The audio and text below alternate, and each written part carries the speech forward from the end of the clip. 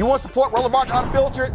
Be sure to join our Bring the Funk fan club. Every dollar that you give to us supports our daily digital show. There's only one daily digital show out here that keeps it black and keep it real as Roland Martin Unfiltered. Support the Roland Martin Unfiltered Daily Digital Show by going to RolandMartinUnfiltered.com.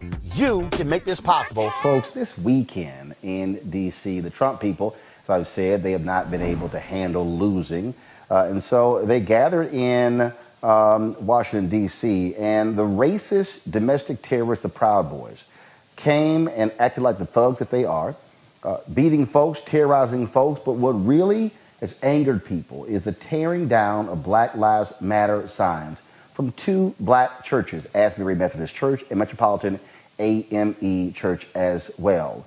Uh, many people are asking, where were the cops? What was going on? Where were the federal authorities? We saw all this huge show of force and Black Lives Matter was out there protesting, but what about this? Well, Karl Racine is the Attorney General for the District of Columbia, uh, and uh, he joins us right now. Karl, glad to have you in Roland Martin Unfiltered.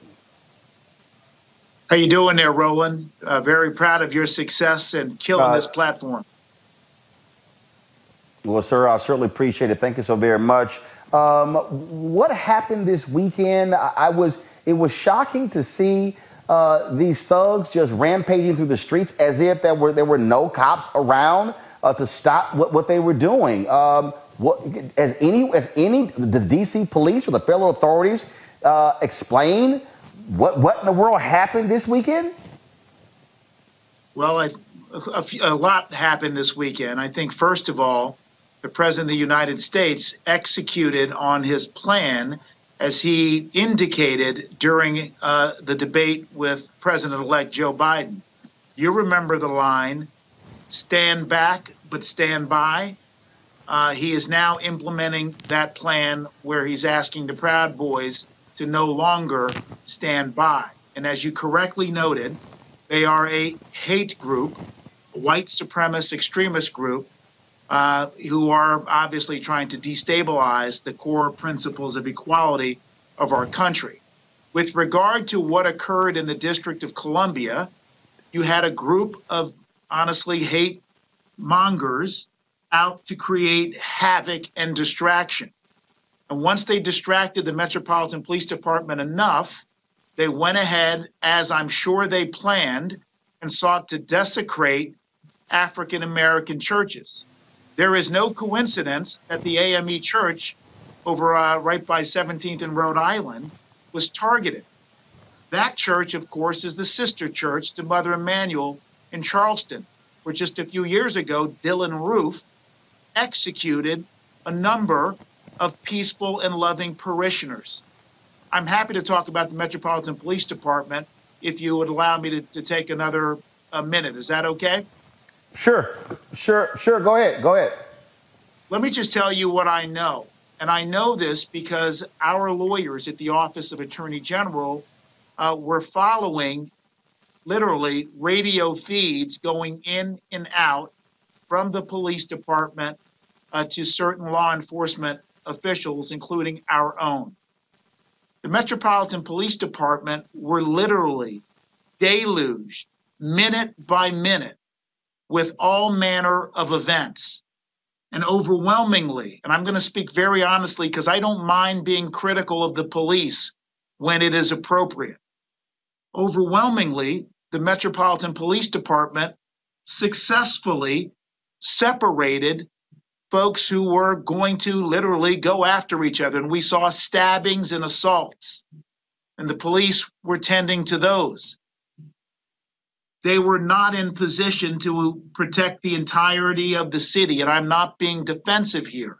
I know that if the Metropolitan Police Department could have known that those two churches were going to be targeted, I firmly believe they would have had the appropriate level of security there.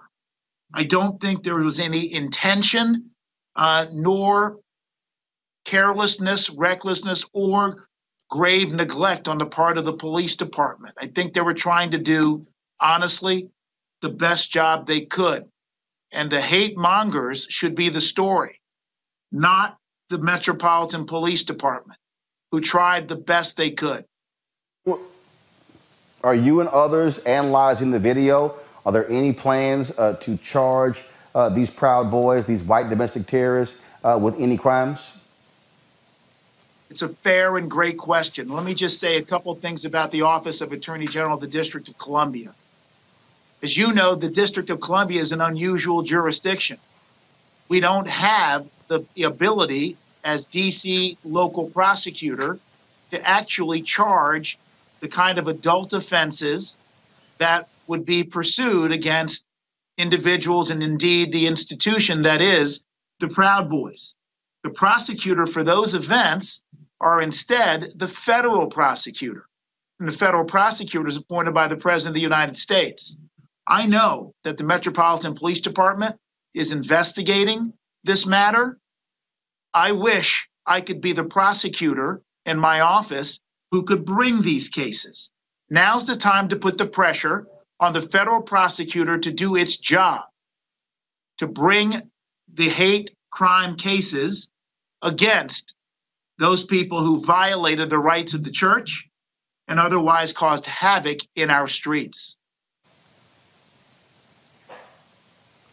Uh, well, it, it, certainly was certainly was shocking and stunning for a lot of people uh, to see what happened, to see um, what what they did, uh, desecrating uh, those two black churches. Clearly, uh, they were targeted as well, uh, and so we, we, you know we certainly hope that the federal, federal, government would do what they're supposed to do. Well, you know, again, we're, what we're dealing with is, of course, Donald Trump and his minions as well. But it, it, was it, it was pathetic to see again, those individuals, uh, you know, you know, bringing their hate down the street, and and what really uh, just bugs me to death. White conservative evangelicals have been real quiet. They've said nothing about the attacks on these black. They said churches. zero, Roland. You're exactly right. The leader of the Proud Boys visited the White House. Get this right. A hate group leader visited the White House. And then hours later went about desecrating black churches. Roland, may I raise an issue with you tonight? Yeah, go ahead. There are reports that Attorney General Bill Barr just resigned. I think it's effective in some days or so, shortly before Christmas. Yeah, yeah. Have you heard of that? Yeah, December 23rd. He, he, yeah, yeah, he has resigned effective December 23rd. I am deeply concerned, Roland, as I sit here tonight, about Bill Barr's resignation. Bill Barr has done Donald Trump's bidding since he came into office as Attorney General. In a way, Bill Barr was like an accomplice maybe a driver who's involved in wrongdoing. The fact that he is leaving the car right now tells me that maybe Mr. Barr, who's done the bidding of Donald Trump, doesn't want to do the bidding of what is planned next. I believe that this is a five alarm fire for all of us to listen to, and that we need every respected leader, spiritual, religious, political, business, and military, to tell Donald Trump to cease and desist his undemocratic and dangerous actions. We need General Mattis, perhaps one of the most respected individuals in our country, to come out now and urge the military to not participate in any way in whatever Donald Trump has planned. Thank you, Roland. Karl Racine, Attorney General for District of Columbia. We certainly appreciate it. Thank you so very much. Now I want to go to uh, our panel here. Joining us uh, on today's panel is Julianne, Mal- Malveaux economist, president emerita, Bennett College, uh, Teresa Lundy, principal founder, TML Communications, Joseph Williams, senior editor at U.S. News and World Report. Uh, it was uh, certainly um, something to behold, uh, Julianne, to see those white domestic terrorists rampaging down the street, beating people, harassing people, uh, and, and, to see what they did to the, to the Black Lives Matter signs uh, at, um, at Asbury Methodist as well as, um, as well as Metropolitan AME. You know, Metropolitan AME Church is my church. It's where I worship. Unfortunately, now online, but you know, I joined about four years ago. I adore my pastor who has much more equanimity than I do about this. This nonsense, Roland, is ridiculous. How do you put yourself onto church property, trespass, trespassing, tear signs down, burn them? This does remind us, as the pastor at Asbury said, it reminds us of, of cross burning. It was just so totally ridiculous. White trash, when you get in white trash, came looking for a fight. Because everybody was fight. That all kinds of. He had fun. Is that hate had there all along? Hate can go back to enslavement. This hate that he unleashed. And I must tell you, Roland, that I am sickened by what had happened on Saturday evening and over the weekend. I want to go to Joseph Williams. Joseph, uh, again, uh, to see what happened, uh, I would think that federal authorities should be examining those videos uh, and, again, uh, using artificial intelligence uh, to find out who those folks were and to prosecute them to the fullest extent of the law.